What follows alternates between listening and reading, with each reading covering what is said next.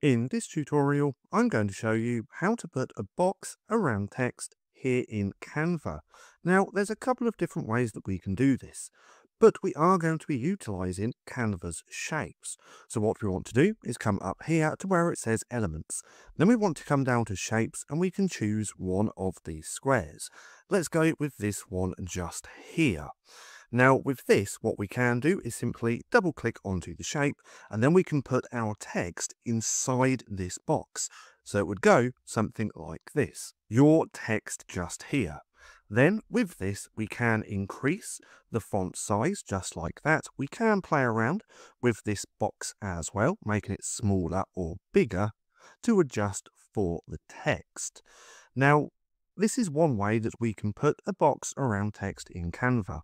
Another way is again by utilizing the box or the shape. So let's just duplicate this and let's take out this text. Now what we can do instead is just put our own text inside the box. So if we do the shortcut T, we're going to bring up some text just here and then let's just put again your text just here. Now, there's a couple of different reasons why you might want to do it this way, or you might want to do it this way.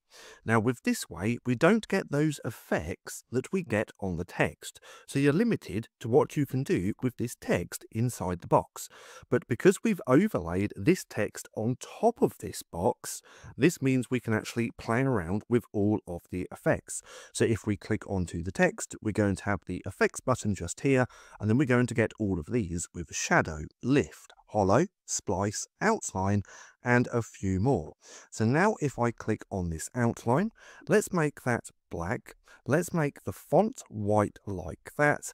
And there we go. So we can play around with all of these effects when we add the text over the box instead of using the text inside the box.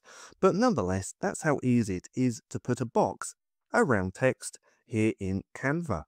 Now, if you found this video helpful at all, then please consider giving me a like, as it really helps out the channel. And if you're not too sure what to watch next, click right here and watch this playlist.